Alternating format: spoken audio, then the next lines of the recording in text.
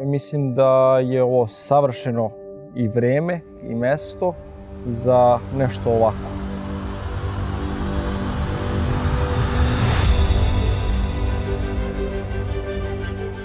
Ovim projektom mi smo završili infrastrukturu i ona je sad upotrebljiva i samim tim je krenula odmah da daje rezultate. Slobodna zona Svilinac obuhvata dve industrijske zone.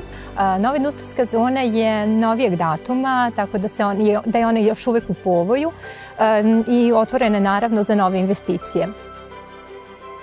Zahvaljujući podršci Evropske unije i vlade Republike Srbije, a kroz razvojni projekat EU Pro, u mnogome unapređena poslovna infrastruktura, poboljšana poslovna klima.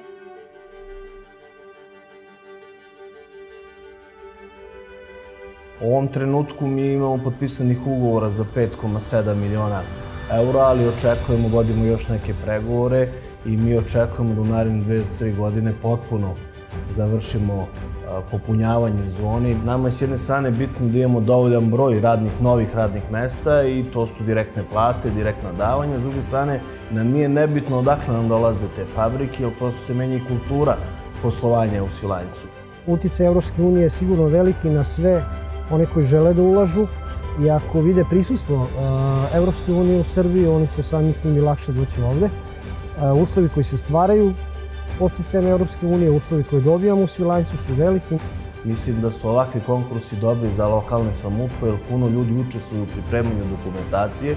Na taj način mi pripremamo i samu lokalnu samupravu za budući rad u Evropskoj uniji. Ja sam siguran da je slobodna zona, režim slobodne zone ubedljivo najbolji model poslovanja jer vam omogućava poslovanje uz finansijske, fiskalne, carinske povlastice i uz pojednostavljenu proceduru.